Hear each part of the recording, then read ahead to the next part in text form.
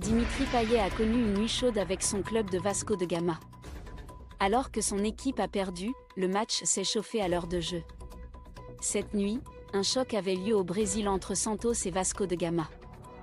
Et le score a été sans appel avec une nette victoire de Santos 4 à 1 qui ne fait pas les affaires du club de l'ancien de l'OM Dimitri Payet, qui est toutefois sorti de la zone rouge ces dernières semaines. Un match qui a totalement dégénéré à cause d'un geste provoquant de Jefferson Soteldo. Tandis que Santos menait déjà 3 à 1, le joueur s'est permis un petit chambrage en jouant un corner en deux temps, prenant le temps de se mettre à pieds joints sur le ballon face à son vis-à-vis.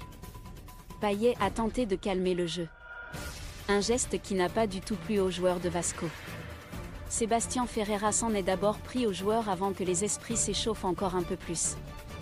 Gary Medel, mais aussi Lucas Lima et Rodrigo Fernandez qui n'étaient pas sur le terrain ont tous été expulsés dans une atmosphère de bagarre générale. De son côté, Dimitri Payet a tenté de calmer les choses, notamment auprès de l'arbitre, sans succès. À noter, clin d'œil de l'histoire, que le dernier but de la rencontre, synonyme de 4 à 1, a été marqué plus tard par Soteldo, l'homme qui a donc mis le feu aux poudres.